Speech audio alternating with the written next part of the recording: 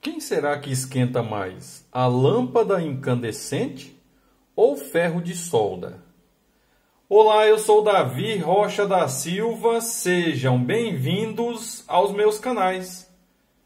O principal objetivo desse vídeo é nós descobrirmos, através desse experimento, quem esquenta mais utilizando esse multímetro inteligente, que ele também tem termômetro. A lâmpada ou ferro de solda. Visitem meus canais do YouTube, Davi Silva Elétrica e CIA, Eletricotando by Davi Silva, Zé Faísca Channel e Pica da Elétrica. Esses canais são voltados para elétrica, eletrônica e conhecimentos em geral.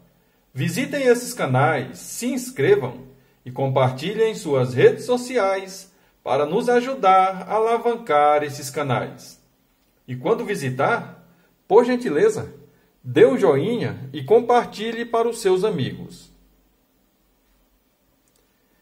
Eu já tenho vídeo nos meus canais do YouTube em que eu faço o teste de quem aquece mais em relação a lâmpadas, né? A lâmpada incandescente ou a lâmpada de LED, tá? E nesse aqui eu quero fazer um teste para a título de experimento, é claro que eu não sei, eu não posso afirmar isso. É, é claro que quem foi feito para esquentar foi o ferro de solda, tá? Foi feito para esquentar e derreter solda. A lâmpada não foi feita para esquentar, a lâmpada foi feita para clarear o ambiente. Que isso fique muito claro nessa informação. Então, o que, é que eu tenho aqui desse lado? Eu tenho aqui uma lâmpada incandescente. Essa é uma lâmpada de 100 watts. Se eu não me engano, ela é de 100 watts. Ela esquenta muito, tá? ela esquenta a certo ponto que se você tocar aqui, se descuidar e tocar, você vai ter uma, uma queimadura né, muito grande, tá? muito feia.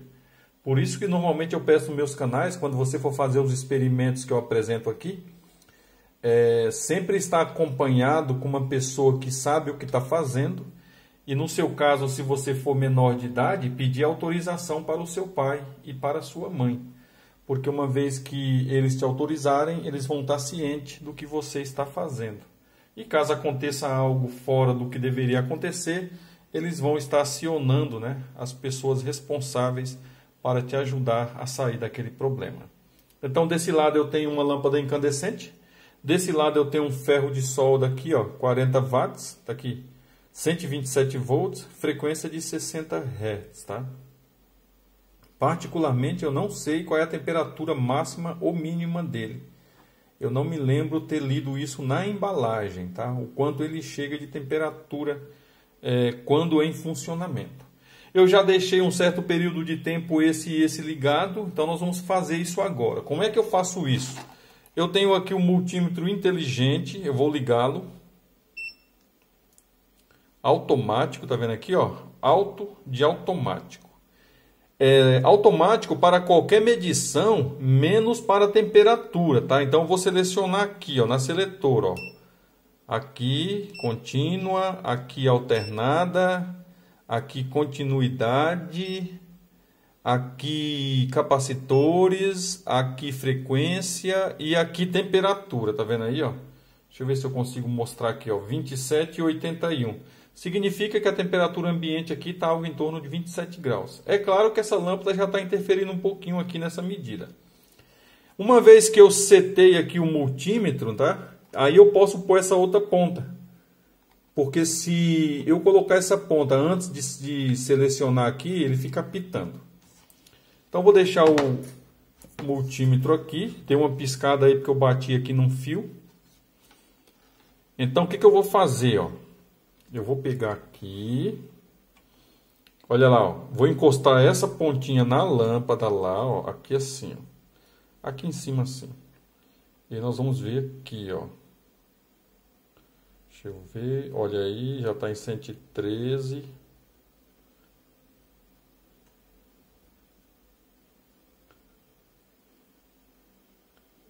Já está em 117.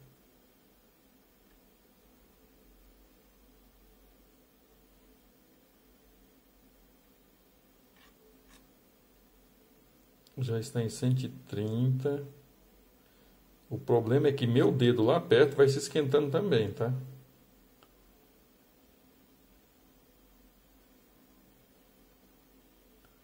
E quando eu afasto a mão, quando eu tiro a pressão, aí ela perde temperatura. Já está em 155. Tá vendo? Basta eu tirar a mão lá, perde temperatura. Então eu preciso ficar com a mão pressionando ali. Esse é o problema. Fica quente, né? Deixa eu ver se aqui assim fica menos ruim. Aqui assim, ó.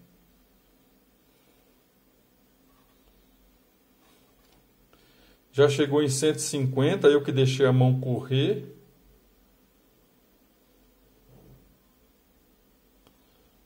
Então, deixa eu tirar de novo e colocar lá em cima, aqui assim. Ó, 149, 155, 163 nesse instante. É uma pena que a luz aqui não ajuda legal. 169.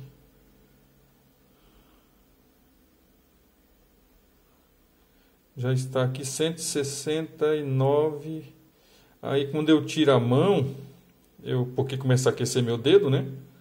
Aí cai um pouquinho. Deixa eu ver aqui.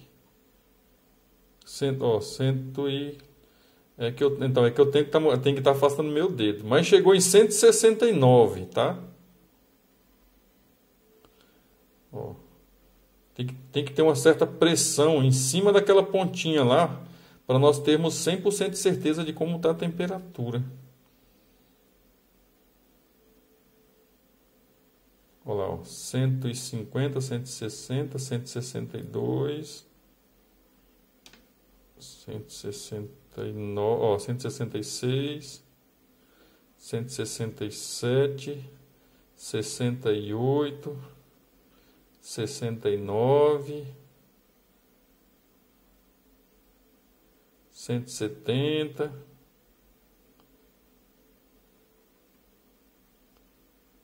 cento e setenta e dois. Então chegou a cento e setenta e dois agora mas eu não estou satisfeito com esse teste. O que, que eu vou fazer?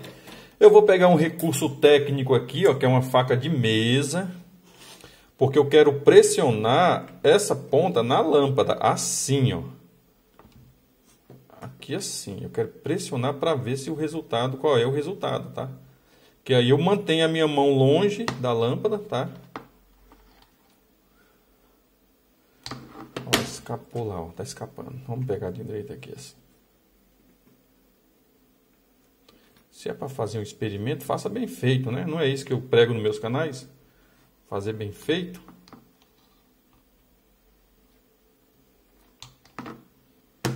Ó, mesmo com a pontinha lá, a pontinha, é a pontinha que precisa ficar no lugar certo aqui, ó. Deixa eu pôr aqui no lugar certo a pontinha, suponho que aqui tá bom. Só que ela quer rodar e a lâmpada está queimando essa proteção dela. aqui assim, deixa eu ver isso aqui. É, não dá para mostrar. Essa pontinha, ela esquenta a minha mão. é experimento, né? Experimento é experimento. Olha lá, ó, 100 e 155, 160. Vocês verem que o negócio esquenta muito, ó. 170 agora. Eu diria que está algo em torno de 190 graus, 172. É que eu não posso segurar aqui com a mão é, perfeitamente, tá? Beleza? Então nós vamos agora para a ponta do ferro de solda aqui, ó. Olha lá, vou encostar na ponta do ferro de solda, já está em 100, 212. 200 e... Nossa, 296, 288, 285, 290, 290. Então vamos fechar com 290. Então a lâmpada aqui da maneira que eu consegui medir, né, com mais eficiência, chegou algo em torno dos 180 graus. Essa aqui, o ferro de solda, não precisei nem demorar muito, já chegou a algo próximo de 290 graus. Então, respondendo a pergunta, quem aquece mais dos dois, esse aqui aquece mais algo em torno de 290 graus, 300 graus. Esse aqui chegou algo em torno de 180 graus. Vamos fechar assim, já que eu não tive precisão na medida. Esse era o principal objetivo do vídeo. Eu peço aos participantes do canal, sempre que possível, dê um joinha e compartilhe em suas redes sociais. Eu sou Davi Rocha da Silva. Simples assim.